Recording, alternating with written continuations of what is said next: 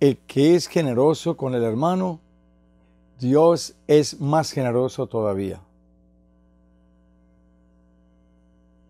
Encontramos en el Evangelio de San Marcos, en el capítulo 12, cuando Jesús estaba viendo en el templo que llegaban y tiraban las limosnas. Y dice que estaba allí Jesús viendo cuando vio una viuda que echó en la caja de las moneditas de cobre, que valía muy poco. Y vio Jesús a sus discípulos que se acercó una viejecita y les dijo, miren, esta viuda pobre ha dado más que todos los otros que están echando dinero en las cajas, pues todos ellos dan de lo que les sobra.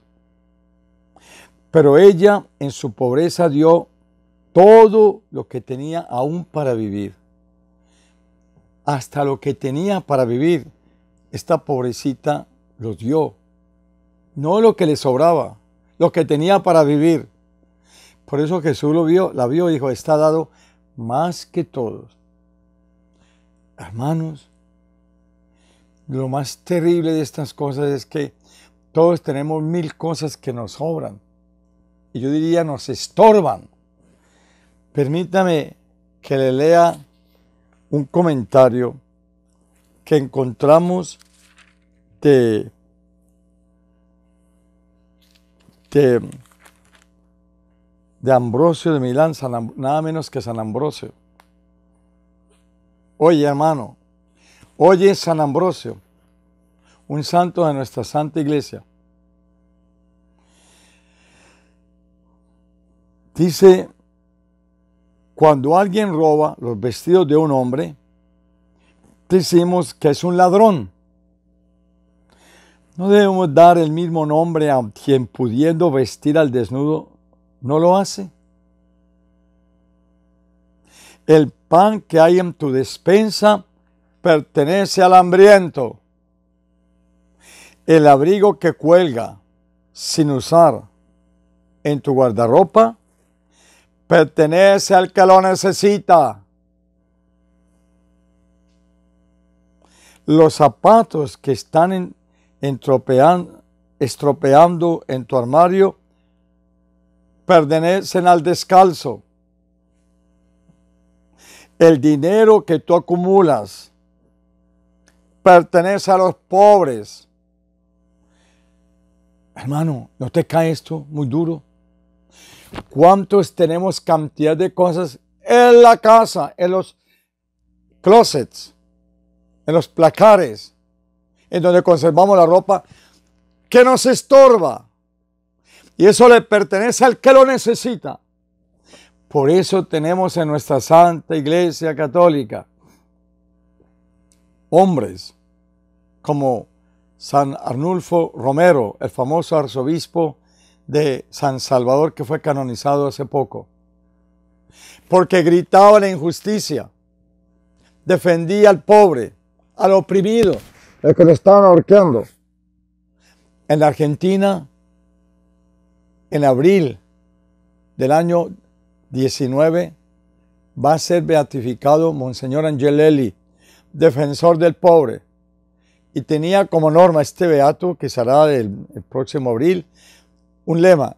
Decía, con un oído escuchando al, al pueblo y con el otro oído escuchando a Dios, su palabra. Y él defendió y se ganó los odios y por eso lo mataron. A Monseñor Romero, a San Alfonso, a San Arnulfo Romero, lo mataron. Al Beato Angelelli, que va a ser beatificado en abril del 19, lo mataron. ¿Y cuántos mártires tiene nuestra Santa Iglesia Católica? Todo por defender al que sufre y tú te quedas muy tranquilo. Tú no sientes estas palabras que te llegan al profundo del corazón. ¿Cuántas entidades tenemos para ayudar a los que sufren? En mi patria, Colombia, yo tengo una fundación para niños necesitados, huérfanos, otros enfermos, otros con sida, madres solteras, pobrísimos. Necesito tu ayuda. Necesito tu ayuda. Necesito tu ayuda para el pobre. Tú me estás viendo quizás de algún otro país que no sea Colombia. Ayuda a tu país. Pregunta a los sacerdotes de tu país qué necesitan y vas a encontrar cantidades que están sufriendo ellos mismos y en las parroquias tratando de ayudar a los que sufren. Ayuda hermano, se abrirán las compuertas del cielo, te darán una medida rebosante y abundante. Cuando Dios promete, cumple. Espero tu ayuda. En tu parroquia, en tu país, el sacerdote espera tu ayuda. Dios necesita tu ayuda. Oremos. Queridísimo Jesús, dame un corazón generoso